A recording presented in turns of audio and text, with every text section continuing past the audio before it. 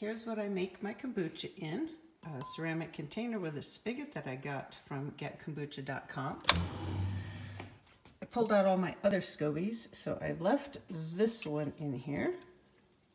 Show you, it's a nice healthy one. It's about that thick. My container is a, I think it says a two gallon container, but I know that I can only put in a gallon and a half of tea. So there's a gallon and a half of tea or water heating up. Here's the tea that I use. The directions are two tablespoons of tea per every gallon of water. So I have a gallon and a half. Obviously I need three tablespoons. It's going to go in that little muslin bag. And it will flavor the tea as soon as I have snail eyes happening in there. Um, they're just tiny little dots now. So it doesn't have to come to a full boil, just hot enough that you have the little bubbles that look like snail eyes in there. Three tablespoons put in the little bag. I use their caffeine-free tea. Um, I actually like their other one better, but this one does a good job. They have a regular one. It's a black tea blend, and it's got a good flavor, but I'm going to use all this up. The next time I order, I'll probably get their original blend. This will go in there as soon as we have more heat. So you can see little snail eyes down there. Tea doesn't have to be boiling. In fact, it could be where you can touch it and not, where it's like just where you want to pull your finger out. It's not excruciating. That's enough heat to brew the tea. And it'll be quicker to cool down. So no point in overheating. Okay, so it's been 10 minutes that this has been um, soaking, seeping, steeping, excuse me. I'm just going to squish that out, remove the bag, and then we'll be able to add our honey. So honey conversions, um, usually this tea calls for sugar or organic cane sugar was, was what I was using, but I wanted to go with something healthier and I like the taste of honey. So um, this one calls for one cup of sugar per gallon of water. I have a gallon and a half of water. With honey, use three-fourths the amount of, um, in converting, three-fourths the amount of honey to sugar. So instead of one cup, I would have used three-fourths of a cup of honey, but since I have a gallon and a half, I end up with one cup of honey.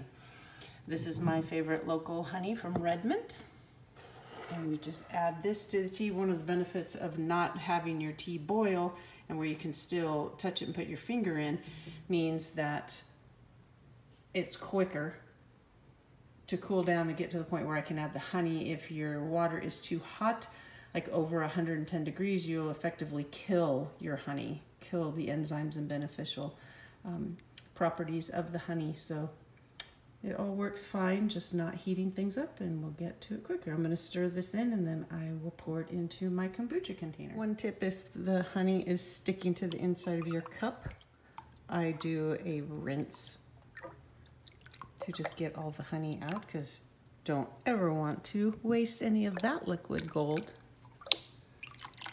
All right, once the honey is all dissolved into your tea, then you can pour it into your container.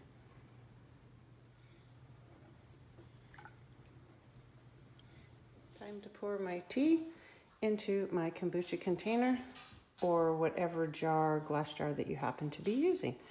Since I can't hold the phone and pour at the same time, you'll see the after. Okay, now we have our tea in the container.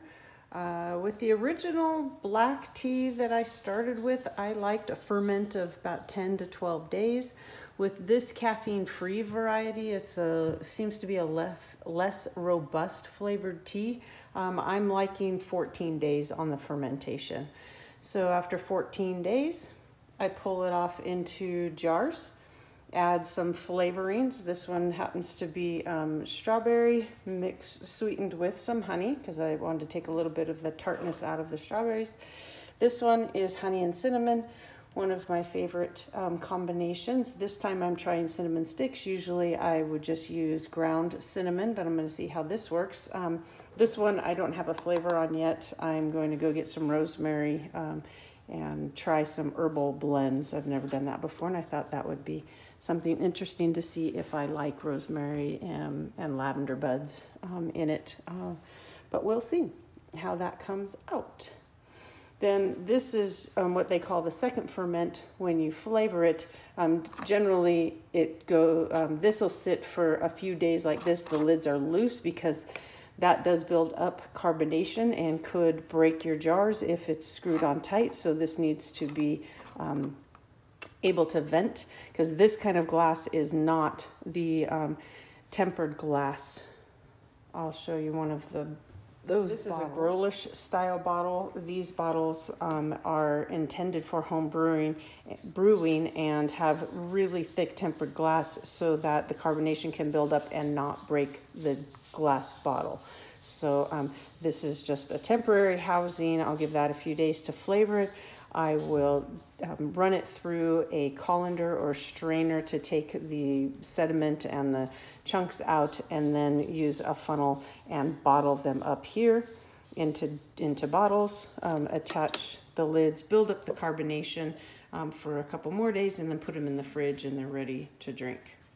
For placement, the kombucha needs to brew in a warm area of the house, typically next to a refrigerator is good because heat comes out of the back um, of the refrigerator and creates a little bit warmer of a corner. So um, around 70 degrees seems to be a good brewing temperature.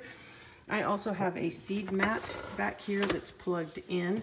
If my house feels cold, in Bend, of course, higher elevation, we have um, dry climate and it gets chilly here. So my house, I keep it about 68 degrees, but it varies depending on, you know, the day outside.